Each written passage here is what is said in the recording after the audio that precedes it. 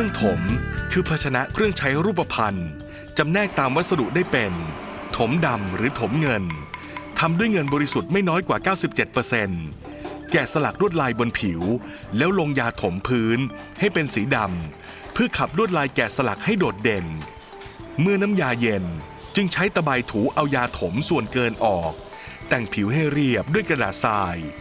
หากลวดลายแกะสลักยังไม่ชัด ช่างถมจะแกะแรหรือแรลาย คือตกแต่งลายซ้ำ แล้วลงยาถมเพิ่ม ขัดให้ผิวลายเป็นเงาวาวสวยงาม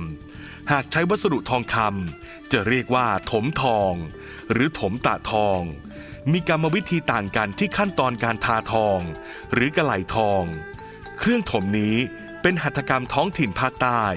โดยเฉพาะจังหวัดนครศรีธรรมราช ซึ่งเป็นแหล่งรวมช่างถมฝีมือดี ที่สืบทอดงานศิลปะช่างถม มาตั้งแต่บรรพบุรุษ ครั้งสมัยกรุงศรีอยุธยา กรุงศรีร่วมอนุรักษ์วัฒนธรรมไทย